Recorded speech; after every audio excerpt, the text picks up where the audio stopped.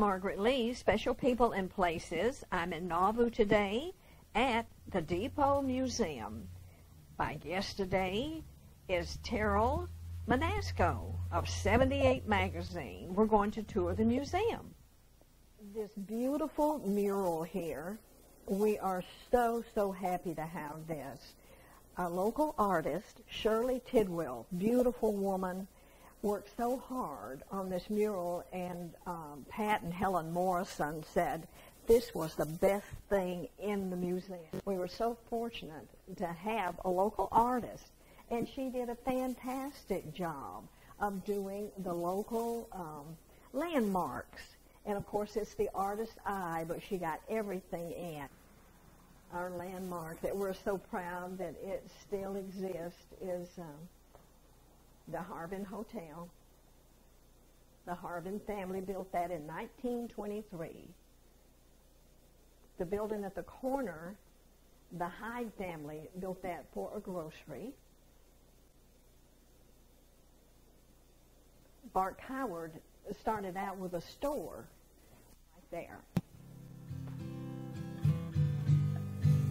The building is um, the women were so proud when they gained the right to vote. The name of the first female voter at Nauvoo for the 1920 election was Belle Martin.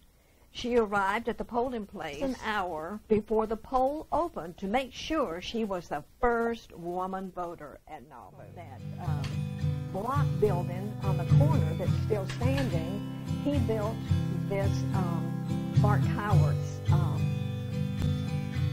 general merchandise store. But it was hit by fire, and he moved on to Haleyville. It was actually a dealership, and I think it could be the first dealership in Walker County. It was a sub-dealership out of um, Birmingham. But Ford cars, wagons, and buggies and he even had service garage, a sawmill.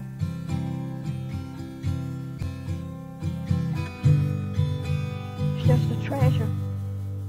Our wonderful Dr. Sankey that came to town in 1903, we had some excitement in Nauvoo in 1940, and that was the birth of the quads, the Short quadruplets. This family had um, born right here at Nauvoo, just up going towards Lynn. But um, Dr. Sankey, those babies were born at night. 19, they already had um, children when they had this set of quads. Now remember, this is before um, fertility. Uh, they were born in the middle of the night in winter, January 1940. And these four babies, uh, Dr. Sankey kept them alive until he could get them to the hospital in Jasper. They just, uh, of course, the town had national publicity and made Dr. Sankey famous for a while. And I remember um, the Slaughter's daughter said she walked into the store and there it was just a buzz with all the excitement and she said, what's going on? And Dr. Sankey said, oh, my dear, haven't you heard? Uh, the Shorts have four babies. And she said, well, I know they have a lot of children. He said, no, no, no.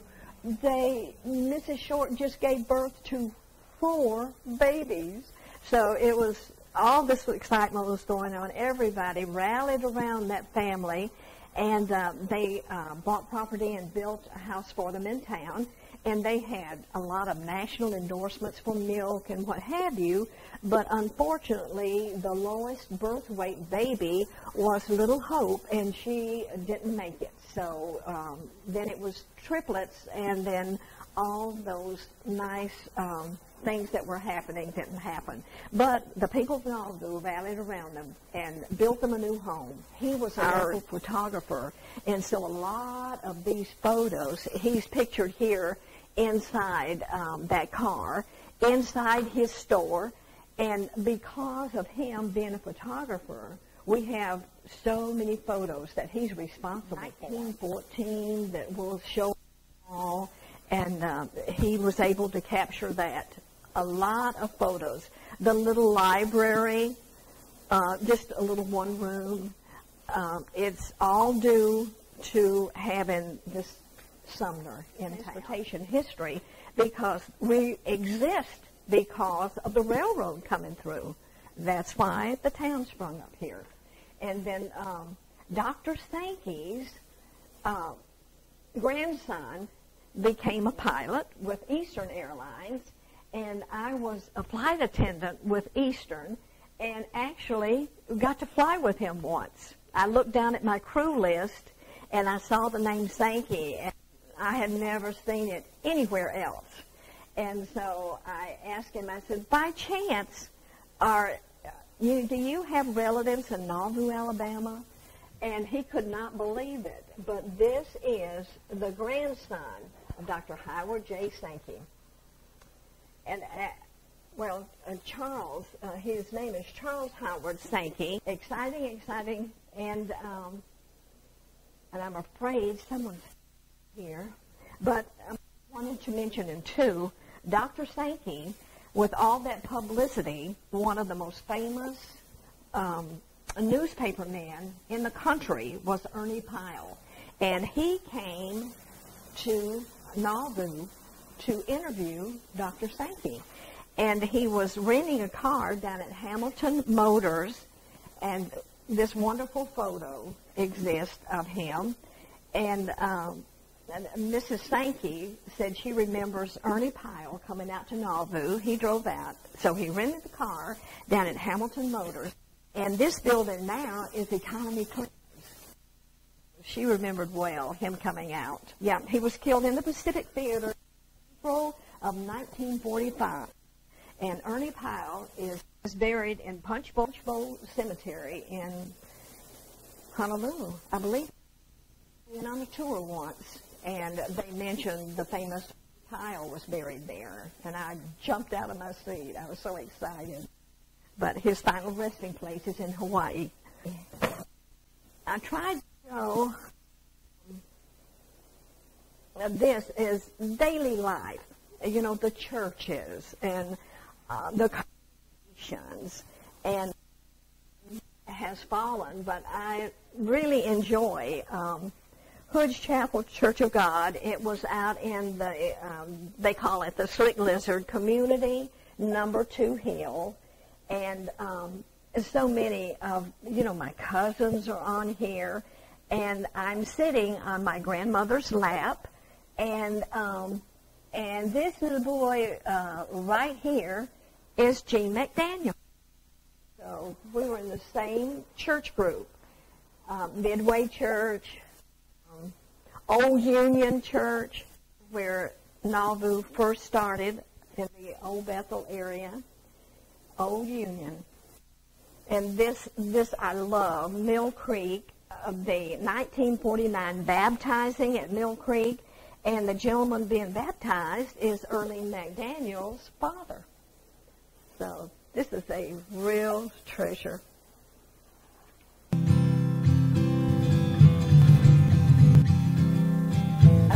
Was the rural school built in, this was the inside of Nauvoo Rural School. I thought this was just great. It must have been around, um, I'm thinking that was Christmas cards or some of their artwork around Christmas and they're, you know, on the wall and uh, this little boy has some greenery on. So I'm thinking it was Christmas time, maybe. Stocking. This was the first school, Black Creek Company School, 1900. One-room school for the employees' children, located on the site of the future William Cook House. The goat in the foreground, we have to talk about him, belonged to the Whitfields. John Cook, with the hat on, is in the doorway of the school. That's John Cook, the Cook son, eldest son.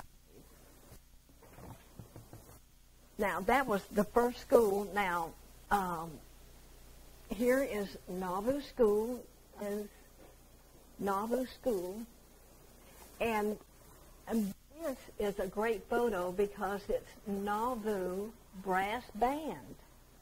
And that drum that says Nauvoo Brass Band, someone found that in an antique store and brought it. It's in the hotel. So that was a treasure they found. Nauvoo Brass Band. This is a great one. This is Nauvoo School, built in 1921, and this has to be one of the first photos of this school. And you'll notice um, it was reprinted from a newspaper picture, and so that's why it's not a good image. But it's fun to see the cars next to the school. This one makes it really fun. And so uh, the one on the wall up there is um, later, of course. But I love this because of the old photos, of the old cars. All right. Um, over in the mural, uh, Shirley Tidwell's beautiful mural of the, the town, it depicts um, Bart Howard's store, Mercantile Store, again, one of the largest in North Alabama, and uh, actually sitting in that car. And it says right up on his building, Ford cars, wagons, and buggies. So he sold everything from caskets to automobiles. And I want to think that it was the first dealership in Walker County. Uh, people used to come in. He had um, a guest house for uh, farmers travel a distance to spend the night. They could stay overnight because it was quite a chore. Uh, you can imagine if you had an oxen or horse-drawn wagon, it took a long time to make it to town. This was his second building. He really expanded and had quite the business here, as you can see. And um, I, I think it's fallen, but um, in 1916, here it says Nauvoo Garage, Ford. Bart Howard's Ford dealership service garage built in 1916. Mm-hmm. Able to get these from Bart Howard's daughters. Carbon Hill Depot, 1890s. And it's so nice that we have an original depot bench out of that, out of this here, a Southern Railroad. Uh, this is Roy Harper here. That was 1946. Railroad right um, on the other side of the tracks and on the highway there were um, like section houses that the men, there's a crew here This is in 1946. That's 68, much later. But you can tell that is a really old one. The one mile to the station poster, let's see. Marshall Northcutt sitting by rail line, one mile. A courtesy of Slate Northcutt. And, um, one of my cousins, and she married Northcutt, Erlene McDaniel's cousin. Uh, you never know when you might find a photo of one of your ancestors in here. We do have trouble with some of our photos fading. This was, this is a drawing of Lynn Depot, 1947 is Sybil Gibson, Naomi Northcutt, and Betty Holland on top. Uh, our, this is courtesy of Sybil Keaton. We love this because it was the old uh, water tower that was um, down on the creek here. Children love playing on Nauvoo's water tank.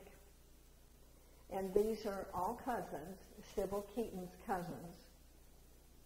Sybil Gibson Keaton on the Southern Railroad.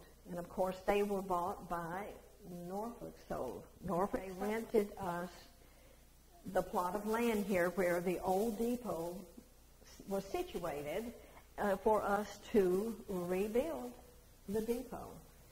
When um, when there is an existing building, you can get funds to help you in restoration.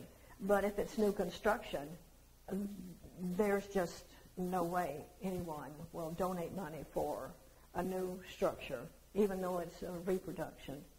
Uh, Gene retired from the Board of Education in 1990. A career in coal mining began in 1954, and Gene has been honored with 50-year membership pin by the United Mine Workers of America. All dressed up. You don't usually see him like that. You usually see him in work clothes. Um, he, and that says it all. Backbone of um, the whole project here of rebuilding the depot. And of course, he and Erlene um, just saved the Harbin Hotel. Our son, um, Michael Lee, was, um, of course, an amateur artist, and he did this painting for me in 19,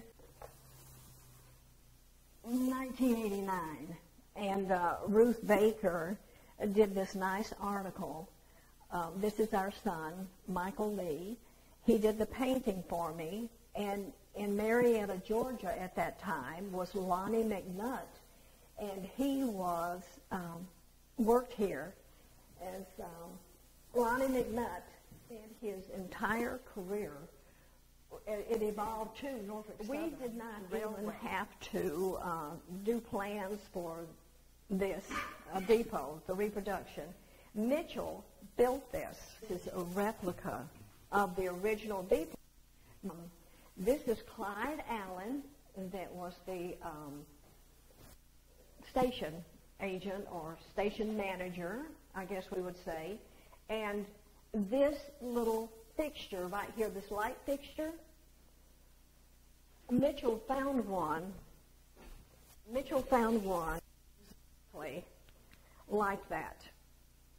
So people coming in here, when I tell them this is a replica of Depot, they find it hard to believe because of um, Mitchell McDaniel's attention to detail. But he found one, one of those light switches just like that. And this is Clyde Allen. And of course, um, he was the father of Nelson Allen became a judge in Jasper, and then his wife Liz was appointed after his death, and he is the grandfather of Nelson Allen Jr., attorney in Jasper. So I think Clyde would have been very proud of his offspring.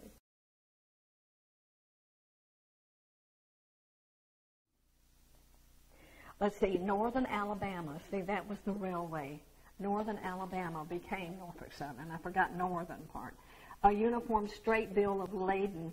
Um, this is something that um, Jasper in 1938. Her maiden aunt was a teacher at Lynn School and um, was a sister of Miss W.S. Knowles Nauvoo. And what did she have? She had cement. Cement and lime were shipped to her. We are so fortunate that uh, people have just donated so many things to the museum. And this is a bill of lading, a bill for uh, a ship. And we were proud to get this. Charlie and Yvonne went to the trouble of having this framed nicely for us with a plaque. Equipment that was actually used in the depot here. Dr. Sankey's son Ben became a major league ball player with the Pittsburgh Pirates.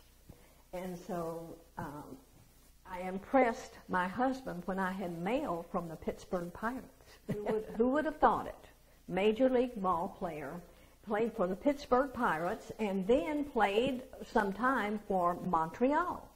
And when he came back um, in the summers, and I, they finally built a house here and lived here for a time. And the local teachers were so impressed because his children spoke French. Right here are local people that we're mighty proud of. Uh, Peggy German, Jimmy, Jimmy Clowers, and her husband, Jesse German, and Al, Alvin Beasley,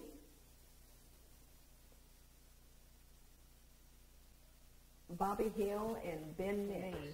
Uh, Slim O'Mary, a good friend of my uncle's, and um, we lived for many years.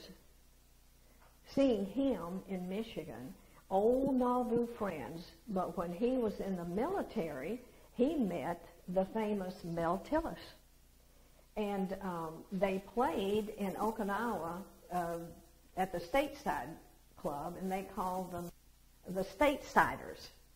And um, that was Mel Tillis in 1952. And our friend, Slim O'Leary. They had a reunion in Branson, Missouri in 1996. And, um, and they were all living in 1996. Mel, you know, he had his own uh, place out there. And um, he was the last remaining member of the band. And he passed away in two, the last surviving member of the uh, Statesiders. And they played in Okinawa, met there. And uh, Mel is just, was just a fantastic talent and entertainer. And, uh, and Slim was fortunate enough to play with them. Uh, Slim, uh, it was interesting to me because Grady Townsend taught Slim O'Mary how to play guitar. We were able to videotape Mel Tillis, and uh, that you can find that program on um, if you pull up Mel Tillis. we such wonderful. Real slow like this. Oh, yeah. You'll be called in Alabama. we are incredibly proud of these men that served our country, and um, and they were um, they hate having all these photos of him uh, of themselves in here. They said all the men that serve, but you we don't have the space to put up a, a picture of every one of our servicemen that we are so proud of but Nauvoo men have always served the country well. But in, um, we have four colonels out of this little small town. Three of them were born in 1927, and that was um, Paul O'Mary, and he just had a sterling career with the military. Jack Rubley, and Sam Hyde. All three of these men were born in 1927, went to school together, were friends.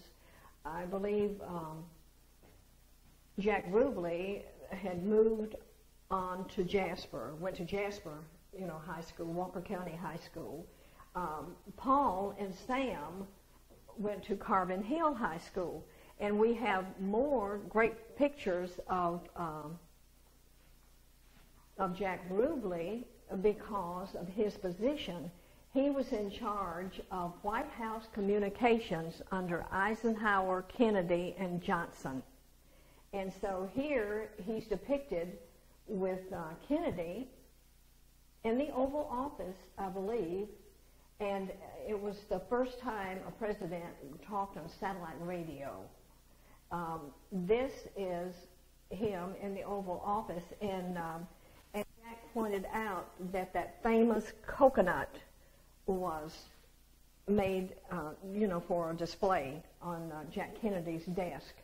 And here he is. Um, there was a movie, uh, Fredric March, uh, Kirk Douglas. They were in a movie film, Seven Days in May, and Lieutenant Rubley is standing to March's right, and uh, members of the White House, the advance team, Colonel Rubley was one of the technical advisors for this movie in 1962.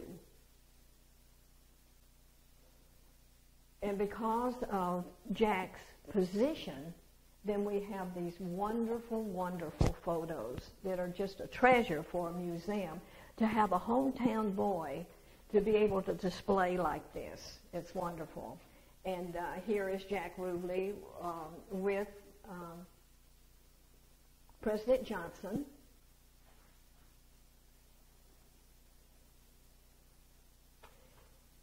They had just launched a ship in New Orleans by remote control. So all of these, and, and here is Eisenhower. Eisenhower and Kennedy in Palm Desert, California in 1963. And I think Jack said he thought that was the only uh, photo they had um, with Eisenhower and Kennedy together. So a real treasure there. One interesting thing about Colonel Rubley, our own Jack Rubley, was in Dallas on that fateful day that John F. Kennedy was shot. He was in the car behind. He heard the shots over his head from the school depository building, and he said he knows he knew shots were fired, and um, and he was there when. Uh, John F. Kennedy was shot. Um, here is Jack Rubley, and this was 1961, Larry? Yeah. This is 1961, and this is the Alabama football team um, after their national championship. And here is Bear Bryant, and you can imagine uh, Jack Rubley was especially proud of this and I always protected this picture when I had it copied. And then um, it showed up on the internet, but they had cut off Jack Rubley. They just had the president and the football team.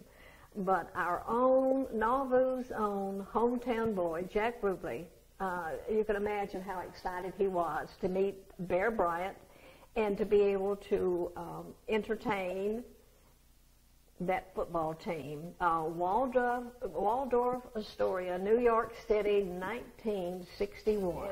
Bernie Rubley is a uh, native of uh, Parrish, Alabama. And here is a White House ball. Uh, Bernice Johnson Rubley, a Walker County native from Parrish, danced with President